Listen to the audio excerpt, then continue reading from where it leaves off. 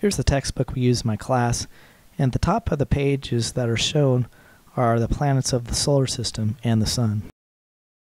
This is an up close look of the inner planets and two of the outer planets, Jupiter and Saturn. So, what does this drawing actually show? Well, it says here this illustration shows the average distances of the nine planets from the sun. These distances are drawn to scale, but the sizes of the planets are not drawn to the same scale. The textbook is attempting to give the students a sense of the sizes of the planets and the distances between them. Unfortunately, this is not accurately showing what those sizes and distances are actually like. That leads us to a question of why don't textbooks show the scale of the solar system to both the size and distance? Well, it's just a simple matter that it's too big. It can't fit on the pages. Well, what does a model that's both scale to size and distance look like of the solar system? Well, here's a model that I actually have made and used in my science classes. We're looking at the city of Rockland, and more specifically, we're looking at the scale model of the solar system, both size and distance. And this is showing the street in front of my school. This model is about a total of about one mile long from the sun all the way out to Pluto. I'm using Google Earth to show this model. The buildings with the blue roofs are the ones that belong to my campus. Let's take a look at the scale in this model. So here, the sun's represented by a volleyball, which is 8 inches in diameter, and so that's 800,000 miles in real life. So one inch in the model is 100,000 miles. Now, the distance between the sun and the first planet Mercury is 10 yards, which is about 36 million miles, such accurately showing the distance between the two. In this model, Mercury is represented by the head of a pin, and it's about 0.03 inches in diameter, about 3,000 miles. The distance between Mercury to Venus is 9 yards, or about 32 million miles. And here we have Venus is represented by the head of a peppercorn, so it's about 19 yards away from the Sun, or 68 million miles. Next, the distance between Venus and Earth is 7 yards, or about 25 million miles. And Earth, uh, very close in size to Venus, is also going to be shown by the head of a peppercorn, about 0.08 inches in diameter, or 8,000 miles. The distance between Earth and Mars is 14 yards, or about 50 million miles. And Mars is about the third of the size of the Earth, so it's going to be represented by the head of a pin. So those are the inner planets. And you can see to the right of the inner planets is the bus loop. And the bus loop is large enough to hold about five to six buses. And you can see in the distance the cars, and to the left you see some houses. So you kind of get a sense of scale right away with those four inner planets. Now, here's Jupiter. Jupiter is quite a ways away. It's 135 yards away from the sun, or about 486 million miles. And it's represented by a superball, about 0.90 inches. So you can see, hey, look how far it is compared to the rest of the inner planets. It's quite a distance away from there.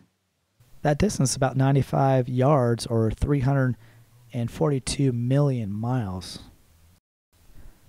Now, when I have my kids out here, what we do is you can either do two things. You can either measure the distance by just telling a student, hey, count this many steps between the planets, and that substitutes for yards. Or you can actually have like a smartphone or or something or a GPS meter where you can actually track the distances very accurately. Either way, it's going to work just fine. And I take about 45 minutes to do this whole model during the period. Another thing to have students do is when they get to each planet, and we do walk to all the planets, I tell them, hey, turn around, take a look at the sun, and notice how big the sun looks. They're always quite astonished to see how small it is, especially when you get out here to Saturn. Saturn, you're a great distance. Uh, it's represented by the hazelnut, and if you're to look from Saturn back to our model volleyball sun, it's going to look extremely small. And the students get a, a really good sense of, hey, there's not as much light coming out here from the sun. We're pretty far out there.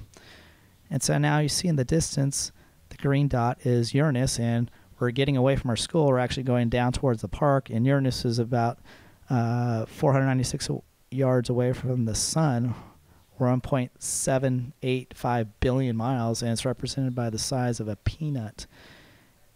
Up to Neptune, 281 more yards, or 1 billion more miles to get to there.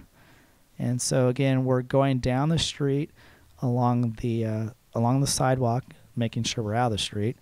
And uh, and there's Neptune, also represented by the size of a peanut. So we're getting pretty far away from our original sun. And if you look back to the sun, it's going to be pretty small. And then finally, out to Neptune, 242 more yards to, uh, from Neptune to Pluto. Um, is quite a distance, and usually we don't even get out to Pluto. It's just too far out there to go during the period. Sometimes we can, sometimes we can't. It's a long ways out there. All in all, this model is uh, pretty much almost a mile out there, and so it takes quite a quite a ways to get out there. Now, what I like also to do is talk about how how we send probes. We launch probes from Earth, and we sent them to the other planets like Mercury and Venus. We sent a lot of probes to Mars. We have one out to Jupiter. We have Cassini to Saturn. And I tell them along the way is, hey, think about that.